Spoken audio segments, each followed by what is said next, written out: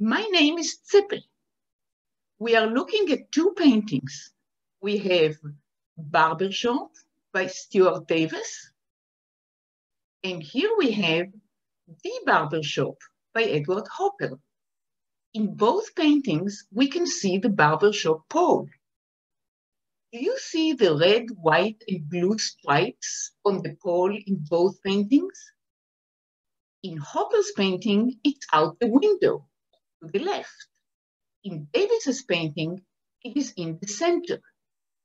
Wow, that is something both these works have in common. First, let's look at the Hopper's painting. Can you see yourself stepping down the stairs into the shop and walking around it? I see a realistic scene that includes the barber and a seated lady at a desk. What else do you see? Now, let's look at Davis's painting, which has a variety of images practically overlapping. What else do you see? Imagine yourself standing in the foreground. Can you walk around? It seems it would be impossible. That is because the painting is flat in comparison to Hopper's painting. Can you describe Davis's work? Davis, who lived in New York City, painted a cityscape of New York City.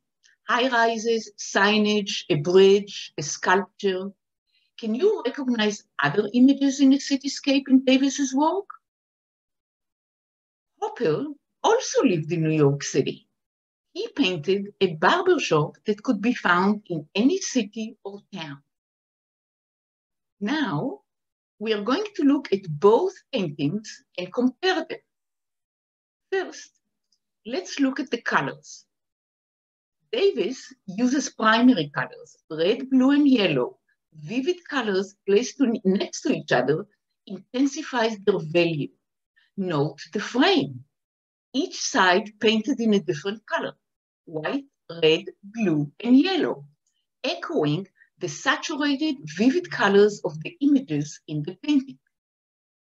Hopper uses variety of shades, tints and tones of cool and warm colors that are muted such as blue-gray, white, tinted with blue and yellow, gray, orange, red, pale yellow, and brown. Can you spot the orange bottle on the right-hand side of the painting and the red stripe on the barber pole out the window on the left-hand side of the painting? Now let's look at the shapes. Davis uses a variety of flat shapes that are bold. Do you see the rectangles, cubes, arrows, and circles he used?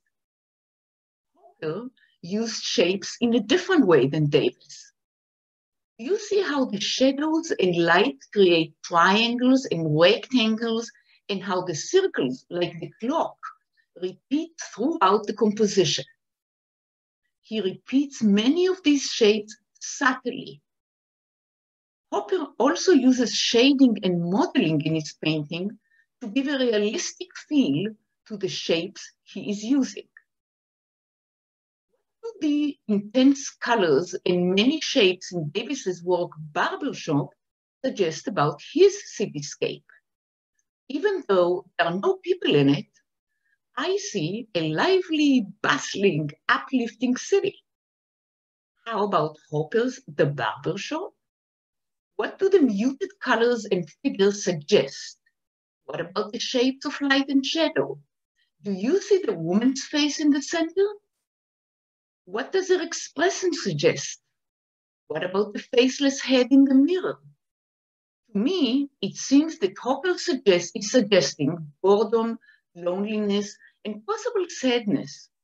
What do you think? Both paintings were done in the same time period. They were created about a year apart. Davis' Barbershop in 1930 and Hopper's The Barbershop a year later in 1931.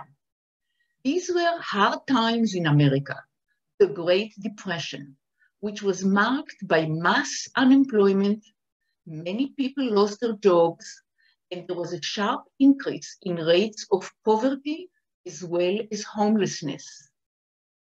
Hopper's work is suggesting boredom, sadness, and loneliness, while Davis's is suggesting a more upbeat environment that seems jazzy to me. How would you react or feel during difficult times? What kind of music would you like to listen to when facing difficulties? Lifting or melancholic music that might evoke sadness? In conclusion, I will quote the artists themselves. Davis said, jazz had a tremendous influence on my thoughts about art. And he said, I paint what I see in America. Hopper's idea about art in his own words was that great art is the outward expression of an inner life in the artist. And this inner life will result in his personal vision of the world. How would you express your personal vision of the world in complex or difficult times? Would you paint, write poetry, create or perform dance, or any other way? It was a pleasure helping you think about these two artworks today that show how two artists painting something similar have a different perspective.